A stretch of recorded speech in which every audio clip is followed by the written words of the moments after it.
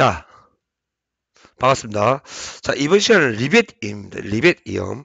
자, 리벳은 이렇게 한쪽 면만 하는 경우도 있고 양쪽 방향이 있습니다. 이때 리벳의 응력은 어떻게 되는지 한번 알아보도록 하겠습니다. 자, 철판의 인장 강도입니다. 자, 철판의 인장 강도부터 한번 천천히 할 수 있도록 하겠습니다. 자, PS는 PS는 TA 곱하기 t b 마이너스 t입니다. 여기서 여기서 이 ta는 철판의 허용 인장 응력이 되고요. t는 철판의 두께가 됩니다. 아시겠나요? 그 다음에 리베스 강도입니다. 자, 리베스 강도. 자, 바로 넘어갈게요. 일단 보고 계세요. 자, 리베스의 강도는 자, 자, 이렇게 봅시다. 이 같은 경우에는 이 같은 경우는 자, T R A 4분의 파이 D 제곱.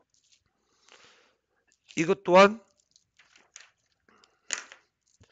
T R A는 리벳의 허용 전단 응력이 됩니다. 양쪽으로 자 이 부분은 이렇게 돼 있을 경우 이거는 이제 두 쪽으로 되어 있는 경우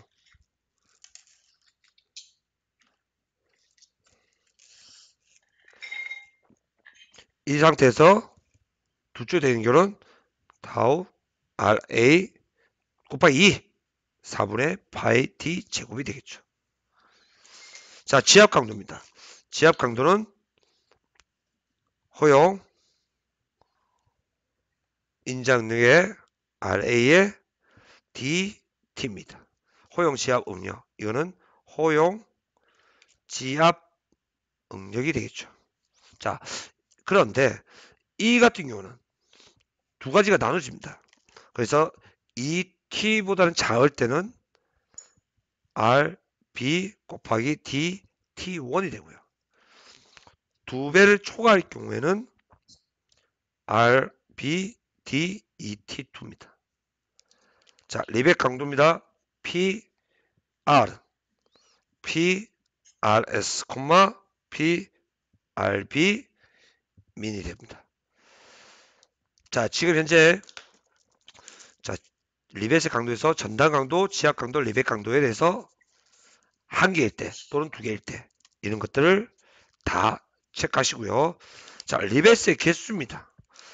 n p r분의 ps. 자, 왜 리벳의 강도가 중요하냐면 결국에는 이 강도에 따라서 리벳을 몇 개를 붙여야 되는지 나오기 때문입니다. 자, 이번 시간에는 여러분들하고 리벳 이형 철판의 인장 강도 그리고 리벳의 전단 강도에 대해서 알아보았습니다. 2022년 5월 9일 안병이었습니다. 감사합니다.